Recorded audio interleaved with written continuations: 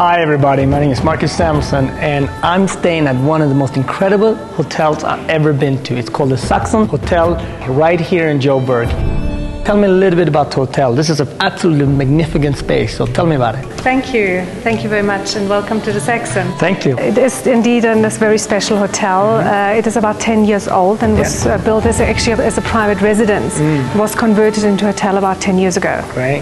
One of the things that I noticed is that you have basically African arts throughout the whole hotel, which is very, very nice when you, you feel like, wow, I'm truly in Africa here, right? Well, that's something that you emphasized a lot on? Definitely, yes. The, the theme was African. Yeah. It's actually fertility. Yeah. and we collected art pieces from all over Africa. You know, I came in here a little bit jet lagged after flying in, and these are the most comfortable beds I've ever stayed in. I just put my head on last night to the pillow, and I was out. When you walk around in the hallways, you feel like, oh wow, there's a presence of a lot of people that have stayed here, and uh, Yeah, you something will find appreciate. pictures which actually are drawings, Yes. pencil drawings, Okay. that have been taken from original photographs. Yes. And yes, there is a lot with Oprah Winfrey and uh, Mr. Nelson Mandela. Yes. You know that Mr. Mandela stayed here actually at the Saxon when it was still a private house. Oh, nice. Yes, uh, for six months to Wow. edit his book Long Walk to. Freedom. No, Ulrike, as a chef, I'm obviously impressed with all of this stuff. But what I'm really, really excited and passionate about is what's going on in the kitchen.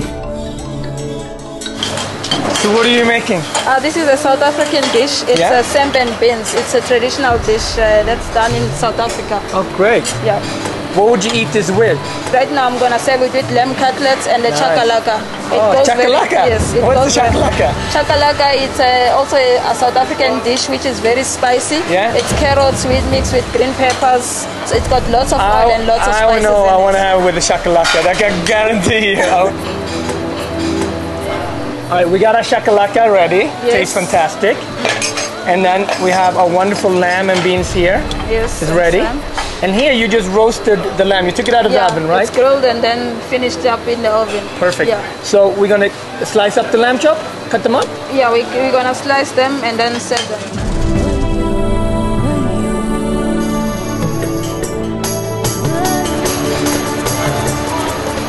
Excellent. your uh, lamb chops. We have a lamb chop here.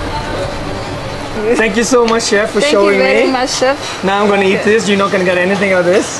this looks too good. Thank you. And I'm gonna have my Sunday brunch here at the Saxon's uh, Hotel and Spa.